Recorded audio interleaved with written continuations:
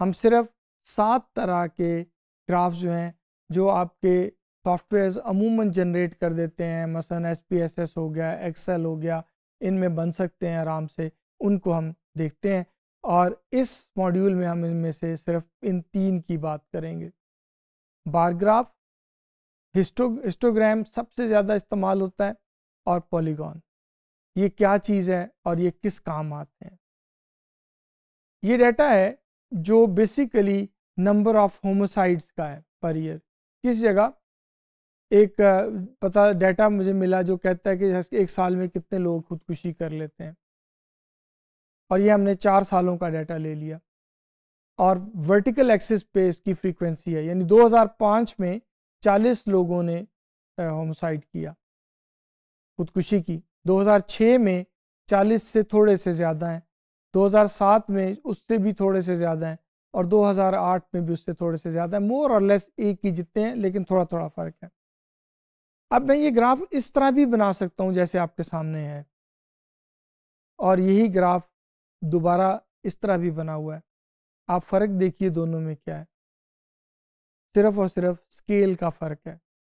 दोनों के स्केल्स आपस में डिफरेंट हैं। ईयर 2005, 6, 7, 8 उसके भी एक्स एक्सिस पे बना हुआ है और उधर वही नंबर ही दिए हमें अब मैंने स्केल जो था पहले वो 2020 के इंटरवल से चल रहा था 20, 40, 60 अब उसको मैंने कर दिया 40 से शुरू करके 50 तक ख़त्म कर दिया। और क्योंकि मेरे पास जो डाटा है उसमें नंबर 40 से शुरू होता है और 50 से नीचे नीचे ख़त्म हो जाता है। अब इसमें जो बार्स का साइज़ है उसके अंदर फ़र्क आपको वाज तौर पे नज़र आ रहा है कि हर साल में जो लोगों ने खुदकुशी की, उनकी तादाद में बढ़ रही है और बढ़ने की क्वांटिटी भी बड़े बेहतर तरीके से या यूँ कह लें कि बड़े डिफरेंट तरीके से विजिबल है।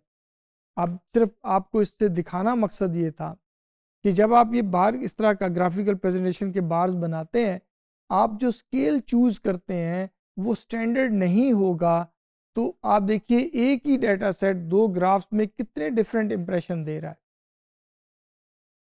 आपने आपने इसको, इससे मिस इंटरप्रटेशंस पैदा होती हैं। अगर कोई शख्स सिर्फ़ इधर आपके राइट साइड वाला ग्राफ देखे और ग्राफ के स्केल्स को ध्यान से ना पढ़े तो पहली साइट में ये नज़र आता है कि यार, खुदकुशी का रेट तो बहुत ज़्यादा बढ़ रहा है। 2006 और 2008 में बहुत ज़्यादा फ़र्क पड़ गया लोगों ने खुदकुशी करने वालों की तादाद में। जबकि असल में वो कितना फ़र्क है? वो 42 से शुरू होकर तो 49 पे पहुँचा है। सात लोगों का फ़र्क है। जो लेफ़्ट साइड पे ग्राफ बना हुआ है, उसका स्टैंडर्ड स्केल था एक साइड पे। उस स्टैंडर्ड स्केल पे जब आप उसको देखते हैं तो आपको फ़र्क इतना बड़ा नज़र नहीं आता। लेकिन इधर वाले में नज़र आता है। तो जब आप ग्राफ बनाएँ, इस तरह का बार ग्राफ आप यूज़ करें तो आप ये ध्यान रखें कि स्केल जो है, वो स्टैंडर्ड हो अप्रोप्रिएट हो, ताकि कोई चीज़ अपनी अपेयरेंस में ना तो एग्जेजरेट होकर नज़र आए और ना ही डायमिनिश होकर छोटी होकर नज़र आए, बल्कि वो अपने किसी एक स्टैंडर्ड के ऊपर मुनासिब तरीके से दिखाई जा सके। बार ग्राफ इस तरह से बनाए जाते हैं, जो हमने पहले नॉर्मल कर्व में भी देखे, जैसे बनते हैं, तरीका वही है इनका। तो ये आप ग्राफ बनाएँगे स्केल की सिलेक्शन की अहमियत में आपके सामने रखना चाह रहा था। दूसरा हिस्टोग्राम है। हिस्टोग्राम भी उसी तरह बार ग्राफ की तरह ही होती है। इसमें आप एक्स एक्सिस पे इंटरवल्स जो हैं वो बना देते हैं और उन इंटरवल्स के दरमियान गैप नहीं नज़र आता आपको। मसलन, इसमें हमने 10-10 के इंटरवल से एक्स एक्सिस पे नंबर्स लिखे हुए हैं। और दूसरी तरफ़ उनकी फ्रीक्वेंसी है। सो so, 39.5 और 49.5 के दरमियान जितने लोग थे उनकी फ्रीक्वेंसी हमने ड्रॉ की। फिर आगे अगले 10 पॉइंट्स के दरमियान जो लोग हैं उनकी फ्रीक्वेंसी ड्रॉ की और इस तरीके से सारे बार्स खड़े कर दिए। और ये जो शक्ल आपके सामने आई है ये डिस्ट्रीब्यूशन की जो शक्ल है ये हिस्टोग्राम कहलाती है। तो ये सबसे ज़्यादा मेरे ख्याल में यूज़ होने वाला डिस्प्ले है किसी भी डेटा सेट का। इसके बाद तीसरी चीज़ जो मैंने आपसे कहा था, इसमें बताऊँगा वो पॉलीगॉन है। पॉलीगॉन में ये है कि आप हिस्टोग्राम में आप ग्राफ्स खड़े करते हैं, लाइनें बनाते हैं, ऊपर को ब्लॉक्स बनाते हैं। पॉलीगॉन में आप वो ब्लॉक्स नहीं बनाते, आप हर पॉइंट पे जो फ्रीक्वेंसी है उसके लिए एक डॉट लगा देते हैं ग्राफ पे, जैसे इस पर आपको डॉट्स नज़र आ रही हैं लगी हुई, और फिर आप उन डॉट्स को आपस में मिला देते हैं।